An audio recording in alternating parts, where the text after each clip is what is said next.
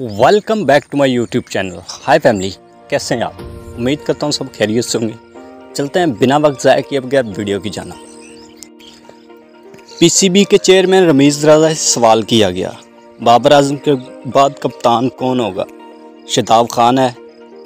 शहनशाह प्रीदी है? या फिर विकेट कीपर मोहम्मद रजवान कप्तान होंगे? रमीज़ राजा ने जवाब देते हुए कहा, ये तो फ़िलहाल मुझे नहीं पता।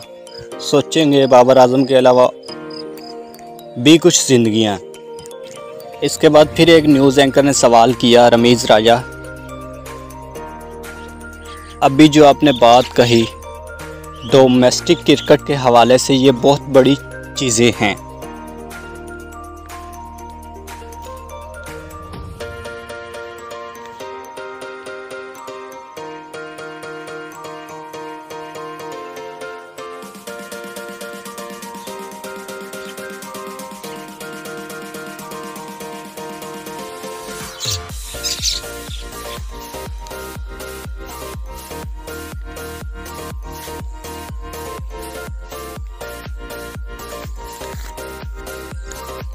अभी इरादा है कि फरवरी 2023 में इंशाल्लाह आईपीएल वुमेन लीग होगी।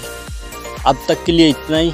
अगर वीडियो अच्छी लगी हो तो वीडियो को लाइक कर दें और चैनल को ज़रूर सब्सक्राइब कर लें ताकि हर आने वाली नई से नई इन्फॉर्मेशन आपको मिलती रहे। और यार, अगर आप लाइक करते हैं तो वीडियो को कमेंट भी ज़रूर किया करें।